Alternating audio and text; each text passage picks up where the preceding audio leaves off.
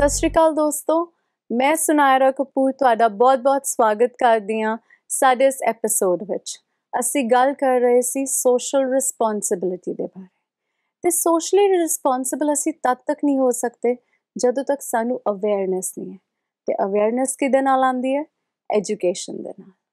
ਇਸ ਬਾਰੇ ਚਰਚਾ ਕਰਨ ਲਈ ਅੱਜ ਮੇਰੇ ਨਾਲ ਨੇ ਬੀਕੇ ਬਹਿਨ ਕਰਮਜੀਤ ਦੀਦੀ, ਓਮ ਸ਼ਾਂਤੀ। ਓਮ ਸ਼ਾਂਤੀ।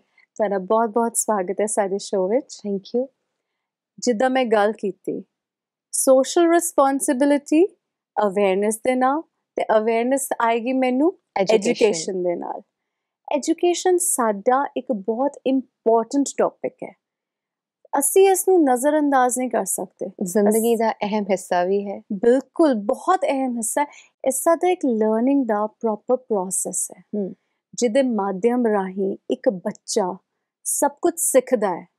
ਉਹਨੂੰ ਨੌਲੇਜ ਮਿਲਦੀ ਹੈ ਮੈਨਰਸ ਆਉਂਦੇ ਨੇ ਉਹਦੀ ਸੋਚ ਵੱਧਦੀ ਹੈ ਉਹਨੂੰ ਹੋਰ ਚੀਜ਼ਾਂ ਦੇ ਬਾਰੇ ਜਾਗਰੂਕਤਾ ਹੁੰਦੀ ਹੈ। ਜੀ ਬਿਲਕੁਲ। ਤੇ ਅੱਜ ਐਜੂਕੇਸ਼ਨ ਬਾਰੇ ਤੁਹਾਡਾ ਕੀ ਕਹਿਣਾ ਹੈ? How does it make it socially responsible education ਦੇਣਾ ਔਰ ਐਜੂਕੇਸ਼ਨ ਲੈਣਾ। ਜੀ। ਦੋਨੋਂ ਹੀ ਸਾਡੀਆਂ ਸੋਸ਼ਲ ਰਿਸਪੌਂਸਿਬਿਲਿਟੀਆਂ ਬਣ ਜਾਂਦੀਆਂ। ਹਾਂਜੀ। ਜਿਹੜੇ ਐਜੂਕੇਸ਼ਨ ਦੇਣ ਵਾਲੇ ਹੈ ਔਰ ਜਿਹੜੇ ਐਜੂਕੇਸ਼ਨ ਲੈਣ ਵਾਲੇ ਹੈ ਛੋਟੇ ਬੱਚੇ ਤੋਂ ਲੈ ਕੇ ਜਵਾਨ ਤੱਕ।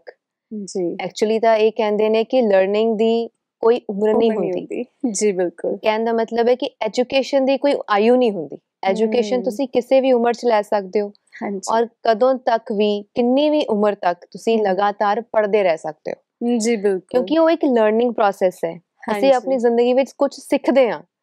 ਔਰ ਹਰ ਸਵੇਰਾ ਹਰ ਨਵਾਂ ਚੜ੍ਹਦਾ ਸੂਰਜ ਸਾਡੇ ਲਈ ਕੋਈ ਨਵੀਂ ਸਿੱਖਿਆ ਹੀ ਲੈ ਕੇ ਆਂਦਾ ਹੈ। ਤੇ absolutely. ਅਸੀਂ ਹਰ ਰੋਜ਼ ਹੀ ਕੁਝ ਨਾ ਕੁਝ ਨਵਾਂ ਸਿੱਖਦੇ ਹਾਂ। ਜੀ ਬਿਲਕੁਲ। ਇੱਕ ਸਕੂਲ ਸਾਡੇ ਘਰ 'ਚ ਹੀ ਹੈ। ਜਦੋਂ ਅਸੀਂ ਫੈਮਿਲੀ 'ਚੋਂ ਬਹੁਤ ਕੁਝ ਸਿੱਖਦੇ ਹਾਂ। ਤੇ ਇੱਕ ਬਾਹਰ ਦਾ ਸਕੂਲ ਹੈ ਜਿਹਦੇ ਵਿੱਚ ਅਸੀਂ ਬੱਚੇ ਨੂੰ ਭੇਜਦੇ ਹਾਂ ਜਿੱਥੇ ਬੱਚਾ ਖੁਦ। ਜਾ ਕੇ ਕਾਪੀ ਪੈਨਸਲ ਫੜ ਕੇ ਕੁਝ ਸਿੱਖਦਾ ਹੈ। ਹਾਂਜੀ ਬਿਲਕੁਲ। ਪਰ ਅਸੀਂ ਗੱਲ ਵੇਖਦੇ ਹਾਂ ਕਿ ਜਿਹੜੀ ਰਿਸਪੈਕਟ ਪਹਿਲਾਂ ਸਾਡੇ ਟੀਚਰਸ ਦੀ ਸੀਗੀ ਜਾਂ ਇੱਕ ਰਿਲੇਸ਼ਨਸ਼ਿਪ ਤੇ ਇੱਕ ਬੌਂਡ ਸ਼ੇਅਰ ਕਰਦੇ ਸੀ ਸਟੂਡੈਂਟ ਤੇ ਟੀਚਰ ਉਹ ਕਿਤੇ ਮਿਸਿੰਗ ਹੋ ਚੁੱਕਿਆ ਹੈ। ਉਹੋ ਜੀ ਗੱਲ ਨਹੀਂ ਰਹੀ। ਇਹਦਾ ਕੀ ਕਾਰਨ ਹੈ? ਕਿਉਂਕਿ ਮੂਲ ਰੂਪ ਅਗਰ ਅਸੀਂ ਦੇਖੀਏ ਅਸੀਂ ਐਜੂਕੇਸ਼ਨ ਦੇ ਹੀ ਮਾਇਨੇ ਬਦਲ ਦਿੱਤੇ। ਪੁਰਾਣੇ ਜ਼ਮਾਨੇ ਵਿੱਚ ਐਜੂਕੇਸ਼ਨ ਹਾਂਜੀ। ਸਿੱਖਿਆ ਔਰ ਸ਼ਿਕਸ਼ਿਤ ਹੋਣਾ ਜੀ। ਇਹਦੇ ਬਹੁਤ ਅਲੱਗ ਮਾਇਨੇ ਸੀ। ਹੂੰ। ਬੱਚੇ ਨੂੰ ਸਕੂਲ ਭੇਜਿਆ ਜਾਂਦਾ ਸੀ ਇਸ ਲਈ ਨਹੀਂ ਕਿ ਸਕੂਲ ਜਾਣਾ ਹੈ। ਹੂੰ। ਇਸ ਲਈ ਕਿ ਇਹਨੇ ਜ਼ਿੰਦਗੀ ਵਿੱਚ ਬਹੁਤ ਕੁਝ ਸਿੱਖਣ ਜਾਣਾ ਹੈ। ਰਾਈਟ ਸਿੱਖਣ ਜਾਂਦੇ ਸੀ ਅਸੀਂ ਕੁਝ ਲੈਣ ਜਾਂਦੇ ਸੀ। ਹੂੰ। ਲੇਕਿਨ ਅੱਜ ਦੀ ਅਗਰ ਅਸੀਂ ਭਾਸ਼ਾ ਦੇਖੀਏ ਅੱਜ ਦਾ ਅਗਰ ਅਸੀਂ ਨਜ਼ਰੀਆ ਦੇਖੀਏ ਤਾਂ ਉਹਦਾ ਬੇਸਿਕ ਰੂਪ ਇਹ ਨਹੀਂ ਹੈ ਕਿ ਅਸੀਂ ਬੱਚੇ ਨੂੰ ਮੋਰਲ ਵੈਲਿਊਜ਼ ਸਿੱਖਣ ਲਈ ਭੇਜ ਰਹੇ ਹਾਂ ਜਾਂ ਇਹ ਜ਼ਿੰਦਗੀ ਲਈ ਕੁਝ ਸਿੱਖਣ ਜਾ ਰਿਹਾ ਹੈ। ਉਹਦਾ ਇੱਕ ਮੋٹے ਰੂਪ ਦੇ ਵਿੱਚ ਇਹ ਆ ਗਿਆ ਸਾਡੇ ਲਵਾਂ ਤੇ ਸਾਡੇ ਮਤਲਬ ਲਫ਼ਜ਼ਾਂ ਵਿੱਚ ਇਹ ਆ ਚੁੱਕਾ ਹੂੰ, ਕਿ ਸਕੂਲ ਜਾਣਾ ਹੈ 10th ਹਮ। ਕਰਨੀ ਹੈ। ਹੂੰ। ਡਿਗਰੀ ਲੈਣੀ ਹੈ। ਹੂੰ। ਨੰਬਰ ਚੰਗੇ ਆਉਣੇ ਚਾਹੀਦੇ ਹੈ। ਹਾਂਜੀ। ਸਿਰਫ ਇੱਥੇ ਤੱਕ ਸੀਮਿਤ ਹੈ। ਬਿਲਕੁਲ। ਔਰ ਪੇਰੈਂਟਸ ਵੀ ਕਿਤੇ ਨਾ ਕਿਤੇ ਕੰਪੈਰੀਜ਼ਨ ਵਿੱਚ ਆ ਗਏ ਹੈ ਕਿ ਹਾਂਜੀ। ਕਲਾਸ ਦੇ ਵਿੱਚ ਅਗਰ ਬੱਚਾ ਤੁਹਾਡਾ ਪੜਨ ਜਾ ਰਿਹਾ ਹੈ ਤੇ ਉਹਨੂੰ ਨਹੀਂ ਦੇਖਦੇ ਕਿ ਉਹ ਕੀ ਪੜ ਰਿਹਾ ਹੈ ਕੀ ਸਿੱਖ ਰਿਹਾ ਹੈ। ਜੀ। ਮੋਰਲ ਵੈਲਿਊਜ਼ ਕੀ ਸਿੱਖ ਰਿਹਾ ਹੈ ਉਹ? ਜ਼ਿੰਦਗੀ ਲਈ ਕੀ ਸਿੱਖ ਕੇ ਆ ਰਿਹਾ ਉੱਥੋਂ? ਸਿਰਫ ਇੰਨਾ ਦੇਖਦੇ ਆ ਤੇਰੇ ਕਿੰਨੇ ਮਾਰਕਸ ਹੈ? ਤੇ ਤੇਰੇ ਬੈਸਟ ਫਰੈਂਡ ਦੇ ਕਿੰਨੇ ਮਾਰਕਸ ਹੈ? ਤੇਰੇ ਬੈਚਮੇਟ ਦੇ ਕਲਾਸਮੇਟ ਦੇ ਕਿੰਨੇ ਮਾਰਕਸ ਹੈ? ਕਿਤੇ ਨਾ ਕਿਤੇ ਅਸੀਂ ਇਹ ਬੱਚਿਆਂ ਵਿੱਚ ਪਾ ਦਿੱਤਾ ਹੈ ਕਿ ਮੋਰਲ ਵੈਲਿਊਜ਼ ਭਾਵੇਂ ਹੋਣ ਜਾਂ ਨਾ ਹੋ ਸਕਸੈਸਫੁਲ ਹੋਣ ਦੀ ਸਾਰੀ ਰੈਸਿਪੀਜ਼ ਤੁਹਾਨੂੰ ਆਣੀਆਂ ਚਾਹੀਦੀਆਂ ਨੇ। ਸਕਸੈਸ ਰੇਟ ਹੀ ਦੇਖਿਆ ਜਾਂਦਾ ਹੈ ਨਾ। ਹਮ ਅਸੀਂ ਇਹ ਚੀਜ਼ਾਂ ਨਹੀਂ ਦੇਖਦੇ ਕਿ ਐਜੂਕੇਸ਼ਨ ਹੀ ਸਾਨੂੰ ਸਿੱਖਿਤ ਕਰਦੀ ਹੈ। ਐਜੂਕੇਸ਼ਨ ਹੀ ਸਾਨੂੰ ਮੋਰਲ ਵੈਲਿਊਜ਼ ਦਿੰਦੀ ਹੈ। ਐਜੂਕੇਸ਼ਨ ਹੀ ਸਾਨੂੰ ਵੱਡਿਆਂ ਦਾ ਆਦਰ ਕਰਨਾ ਸਿਖਾਉਂਦੀ ਹੈ ਔਰ ਐਜੂਕੇਸ਼ਨ ਹੀ ਸਾਨੂੰ ਜੀਵਨ ਜੀਣ ਦੀ ਕਲਾ ਸਿਖਾਉਂਦੀ ਹੈ। ਨਾਲੇ ਨਾਲ ਸਾਨੂੰ ਸਕਸੈਸਫੁਲ ਵੀ ਬਣਾਉਂਦੀ ਹੈ। ਨੈਚੁਰਲ ਹੈ। ਇਸੇ ਕਰਕੇ ਜਿਹੜੀ ਤੁਸੀਂ ਗੱਲ ਕਹੀ ਸੀ ਸ਼ੁਰੂ ਦੇ ਵਿੱਚ ਕਿ। ਅਵੇਅਰਨੈਸ ਵੀ ਤਾਂ ਹੀ ਆਏਗੀ ਜੇ ਸਾਨੂੰ ਐਜੂਕੇਸ਼ਨ ਹੋਏਗੀ। ਅਵੇਅਰਨੈਸ ਹੋਏਗੀ ਤਾਂ ਹੀ ਅਸੀਂ ਰਿਸਪੌਂਸਿਬਲ ਹੋ ਸਕਦੇ ਹਾਂ। ਤੇ ਉਹ ਐਜੂਕੇਸ਼ਨ ਦਾ ਜੋ ਲੈਵਲ ਹੈ ਅੱਜ ਉਹ ਚੈੱਕ ਕਰਨਾ ਕਿ ਐਜੂਕੇਸ਼ਨ ਕਿੱਥੇ ਸਟੈਂਡ ਕਰ ਰਹੀ ਹੈ ਕੀ ਉਹਦੀ ਪੋਜੀਸ਼ਨ ਹੈ ਕੀ ਸਟੇਟਸ ਹੈ ਤੇ ਬਹੁਤ ਜ਼ਰੂਰੀ ਹੋ ਗਿਆ ਹੈ। ਬਿਲਕੁਲ ਸਹੀ ਕਿਹਾ ਤੁਸੀਂ। ਜਿੱਦਾਂ ਤੁਸੀਂ ਕਿਹਾ ਪਹਿਲਾਂ ਕਿ ਮਾਇਨੇ ਬਦਲ ਗਏ ਐਜੂਕੇਸ਼ਨ ਦੇ ਸਾਡਾ ਰਿਲੇਸ਼ਨਸ਼ਿਪ ਬਦਲ ਗਿਆ ਤੇ ਉਹ ਮਾਇਨੇ ਪਹਿਲਾਂ ਜਿੱਦਾਂ ਸੀਗੇ ਕਿ ਅਸੀਂ ਮੋਰਲ ਵੈਲਿਊਜ਼ ਲਈ ਜਾ ਰਹੇ ਹਾਂ ਸਕੂਲ ਜਾਂ ਅਸੀਂ ਕੁਝ ਚੰਗਾ ਸਿੱਖਣ ਜਾ ਰਹੇ ਹਾਂ ਅੱਜ ਉਹ ਸਿਰਫ ਮਾਰਕਸ ਤੱਕ ਸੀਮਿਤ ਰਹਿ ਗਏ ਤੇ ਬੱਚੇ ਬਹੁਤ ਜ਼ਿਆਦਾ ਪੀਅਰ ਪ੍ਰੈਸ਼ਰ ਫੀਲ ਕਰਦੇ ਆ। ਅੱਜ ਕੱਲ ਇਹ ਸਭ ਤੋਂ ਵੱਡੀ ਸਮੱਸਿਆ ਸਾਰੇ ਬੱਚਿਆਂ ਦੀ। ਔਰ ਇੱਕ ਚੀਜ਼ ਹੋਰ ਵੀ ਹੈ ਪੁਰਾਣੇ। ਜ਼ਮਾਨੇ ਵਿੱਚ ਸਿੱਖਿਆ ਦੇਣ ਵਾਲਾ ਸਿੱਖਿਅਕ ਕੈਸਾ ਵੀ ਹੁੰਦਾ ਸੀ ਹਾਂਜੀ। ਉਹਦੀਆਂ ਲੁਕਸ ਤੇ ਨਹੀਂ ਸੀ ਜਾਂਦੇ ਬੱਚੇ।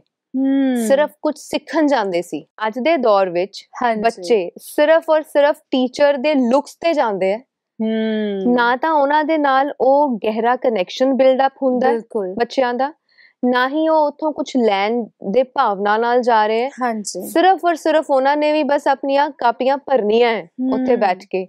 ਸੁਣਨਾ ਹੈ ਔਰ ਨੋਟ ਕਰਨਾ ਹੈ। ਸਿਰਫ ਉੱਥੇ ਤੱਕ ਹੈ। ਤੇ ਉਹਨਾਂ ਦਾ ਜਿਹੜਾ ਇੱਕ ਪਰਸਨਲ ਰਿਲੇਸ਼ਨ ਬਿਲਟ ਹੋਣਾ ਚਾਹੀਦਾ ਟੀਚਰ ਦੇ ਨਾਲ ਉਹ ਵੀ ਨਹੀਂ ਹੋ ਪਾ ਰਿਹਾ। ਬਿਲਕੁਲ ਸਹੀ ਕਿਹਾ ਤੁਸੀਂ।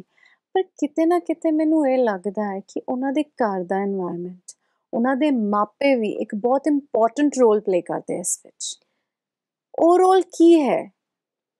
या मैं क्वेश्चन दूसरा करती हूँ ਨਹੀਂ ਇਹ ਵੀ इसको ठीक है। रीस्केड्यूल करती हूँ क्वेश्चन को ਜਿਹੜਾ ਸਟੂਡੈਂਟ ਤੇ ਟੀਚਰ ਦਾ ਇੱਕ ਬੌਂਡ ਹੈ ਇਹਦੇ ਵਿੱਚ ਮਾਪੇ ਕੀ ਰੋਲ ਪਲੇ ਕਰ ਰਹੇ ਨੇ ਅੱਜ ਪਹਿਲਾਂ ਕੁਝ ਕਰਦੇ ਸੀ ਹੁਣ ਕੁਝ ਹੋਰ ਕਰ ਰਹੇ ਨੇ ਕੀ ਵੇਰੀਏਸ਼ਨ ਹੈ ਦੋਨੋਂ ਪਾਸੇ ਵੇਰੀਏਸ਼ਨਸ ਟੂ ਵੇ ਹੈਗੀਆਂ ਹਾਂਜੀ ਜਿਹੜੇ ਟੀਚਰਸ ਪੜ੍ਹਾਉਣ ਆ ਰਹੇ ਹੈ ਹੂੰ ਉਹ ਵੀ ਕਿਸੇ ਦੇ ਮਾਪੇ ਹੈ ਬਿਲਕੁਲ। ਤੇ ਜਿਨ੍ਹਾਂ ਦੇ ਬੱਚੇ ਪੜਨ ਜਾ ਰਹੇ ਹੈ ਕਿਸੇ ਮਾਪੇ ਦੇ ਬੱਚੇ ਨੇ ਠੀਕ ਹੈ? ਤਾਂ ਬੋਥ ਵੇਜ਼ ਹੈ। ਐਬਸੋਲੂਟਲੀ ਜਿਹੜੇ ਟੀਚਰਸ ਪੜ੍ਹਾਉਣ ਆ ਰਹੇ ਹੈ ਹੂੰ। ਉਹਨਾਂ ਦਾ ਨਜ਼ਰੀਆ ਵੀ ਇਹ ਹੋਣਾ ਚਾਹੀਦਾ ਹੈ ਕਿ ਅਸੀਂ ਇਸ ਦੇਸ਼ ਦੇ ਭਵਿੱਖ ਨੂੰ ਪੜਾਉਣ ਜਾ ਰਹੇ ਹਾਂ। ਹੂੰ ਬਿਲਕੁਲ। ਔਰ ਤੁਸੀਂ ਕਿੱਦਾਂ ਦਾ ਦੇਸ਼ ਚਾਹੁੰਦੇ ਹੋ ਹੂੰ। ਉਦਾਂ ਦਾ ਹੀ ਅਸੀਂ ਪੜਾ ਕੇ ਆਈਏ। ਐਬਸੋਲੂਟਲੀ ਦੇਣ ਵਾਲੇ ਦਾ ਨਜ਼ਰੀਆ ਵੀ ਉਸ ਲੈਵਲ ਦਾ ਚਾਹੀਦਾ ਹੂੰ ਜਿੱਦਾਂ ਦਾ ਤੁਸੀਂ ਅੱਜ ਡਿਮਾਂਡ ਕਰਦੇ ਹੋ ਕਿ ਮੇਰਾ। ਦੇਸ਼ ਇਦਾਂ ਦਾ ਹੋਣਾ ਚਾਹੀਦਾ ਹੈ। ਬਿਕੋਜ਼ ਉਹ ਦੇਸ਼ ਨੂੰ ਬਣਾਉਣ ਵਾਲੇ ਤੁਹਾਡੇ ਸਾਹਮਣੇ ਕਲਾਸ ਦੇ ਵਿੱਚ ਬੈਠੇ ਹੈ। ਹੂੰ। ਔਰ ਦੂਸਰੇ ਪਾਸੇ ਆਓ ਬੱਚੇ ਬੱਚਿਆਂ ਦੇ ਪੇਰੈਂਟਸ ਹਾਂਜੀ। ਕਿ ਪੇਰੈਂਟਸ ਨੂੰ ਆਪਣੇ ਬੱਚਿਆਂ ਨੂੰ ਇਹ ਸਿਖਾਉਣਾ ਚਾਹੀਦਾ ਹੈ ਕਿ ਤੁਸੀਂ ਉੱਥੇ ਸਿੱਖਣ ਜਾ ਰਹੇ ਹੋ। ਹੂੰ। ਮਾਰਕਸ ਠੀਕ ਹੈ ਚਾਹੀਦੇ ਹੈ ਇੰਪੋਰਟੈਂਟ ਹੈ। ਲੇਕਿਨ that should be secondary ਔਰ ਪ੍ਰਾਇਮਰੀ ਫੈਕਟਰ ਇਹ ਹੋਣਾ ਚਾਹੀਦਾ ਕਿ ਬੱਚਾ ਟੀਚਰ ਦੇ ਨਾਲ ਇੱਕ ਗਹਿਰੇ ਕਨੈਕਸ਼ਨ ਵਿੱਚ ਹੋਏ। ਹੂੰ। ਸਭ ਤੋਂ ਪਹਿਲਾਂ ਆਪਣੇ ਟੀਚਰ ਦੀ ਰਿਸਪੈਕਟ ਕਰਦਾ ਹੋਏ।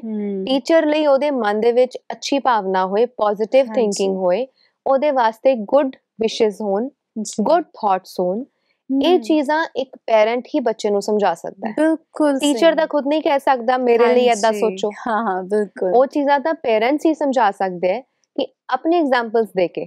ਕਿ ਅਸੀਂ ਏਦਾਂ ਹੁੰਦੇ ਸੀ ਪੁਰਾਣੇ। ਟੀਚਰਸ ਏਦਾਂ ਹੁੰਦੇ ਸੀ ਸਟੂਡੈਂਟ ਔਰ ਟੀਚਰਸ ਦਾ ਆ ਰਿਲੇਸ਼ਨ ਹੁੰਦਾ ਸੀ। ਉਹ ਐਗਜ਼ਾਮਪਲਸ ਬੱਚਿਆਂ ਨੂੰ ਦੇ ਕੇ ਬੱਚਿਆਂ ਨੂੰ ਉਹ ਸਿੱਖਿਆ ਦਿੱਤੀ ਜਾ ਸਕਦੀ ਆ ਘਰ ਦੇ ਵਿੱਚ ਕਿ ਤੁਸੀਂ ਸਕੂਲ ਜਾ ਰਹੇ ਹੋ ਤਾਂ ਉਹ ਇੱਕ ਸਮਝ ਲਓ ਇੱਕ ਮੰਦਿਰ ਹੈ। ਬਿਲਕੁਲ। ਇੱਕ ਸਿੱਖਿਆ ਦਾ ਮੰਦਿਰ ਹੈ। ਹਾਂਜੀ। ਤੁਸੀਂ ਉਸ ਮੰਦਿਰ ਚੋਂ ਸਿਰਫ ਪੋਜ਼ਿਟਿਵਲੀ ਚੀਜ਼ਾਂ ਗੱਲਾਂ ਲੈ ਕੇ ਆਣੀਆਂ ਹੂੰ, ਉੱਥੇ ਕੋਈ 네ਗੇਟਿਵ ਨਾ ਤਾਂ ਗੱਲ ਆਪਸ ਚ ਕਰੋ ਔਰ ਨਾ ਹੀ ਤੁਸੀਂ 네ਗੇਟਿਵ ਸੰਕਲਪ ਆਪਣੇ ਮਾਈਂਡ 'ਚ ਆਪਣੇ ਟੀਚਰਸ ਵਾਸਤੇ ਰੱਖੋ। ਬਿਲਕੁਲ। ਇਹ ਤੁਸੀਂ ਬਹੁਤ ਸੋਹਣੀ ਗੱਲ ਕੀਤੀ ਤੇ ਆਮ ਸ਼ੋਰ ਅਸੀਂ ਇਸ ਬਾਰੇ ਅੱਗੇ ਵੀ ਚਰਚਾ ਕਰਾਂਗੇ ਐਂਡ ਮੇਰੇ ਜਿਹੜੇ ਵਿਊਅਰਸ ਨੇ ਉਹਨਾਂ ਨੂੰ ਵੀ ਬਹੁਤ ਹੈਲਪ ਹੋਏਗੀ ਤੇ ਉਹ ਬਹੁਤ ਇੰਟਰਸਟਿਡ ਹੋਣਗੇ ਜਾਣ ਲਈ ਕਿ ਅੱਗੇ ਅਸੀਂ ਕਿਹੜਾ ਸੋਲੂਸ਼ਨ ਉਹਨਾਂ ਨੂੰ ਦੱਸ ਰਹੇ ਹਾਂ ਜੀ। ਜ਼ਰੂਰ। ਤੁਹਾਡਾ ਬਹੁਤ ਬਹੁਤ ਧੰਨਵਾਦ ਓਮ ਸ਼ਾਂਤੀ। ਓਮ ਸ਼ਾਂਤੀ। ਕਿਸ ਤਰ੍ਹਾਂ ਇੱਕ ਛੋਟਾ ਜਿਹਾ ਬੱਚਾ ਮਾਨਸਿਕ ਰੋਗੀ ਬਣ ਜਾਂਦਾ ਹੈ? ਡਿਪਰੈਸ਼ਨ ਦਾ ਸ਼ਿਕਾਰ ਹੋ ਜਾਂਦਾ ਹੈ ਤੇ ਉਸ ਦੇ ਦਿਮਾਗ ਵਿੱਚ ਸੁਸਾਈਡ ਵਰਗੇ ਬੁਰੇ ਥਾਟਸ ਆਉਂਦੇ ਨੇ। ਜੇ ਤੁਹਾਡਾ ਬੱਚਾ ਵੀ ਇਹਨਾਂ ਚੀਜ਼ਾਂ ਨਾਲ ਡੀਲ ਕਰ ਰਿਹਾ ਹੈ, ਤੇ ਸਾਡੇ ਨਾਲ ਜੁੜੇ ਰਹੋ, ਕਿਉਂਕਿ ਅਸੀਂ ਅੱਗੇ ਇਸ ਦੇ ਸੋਲੂਸ਼ਨਸ ਲੈ ਕੇ ਆਵਾਂਗੇ। ਓਮ ਸ਼ਾਂਤੀ, ਸਤਿ ਸ਼੍ਰੀ ਅਕਾਲ।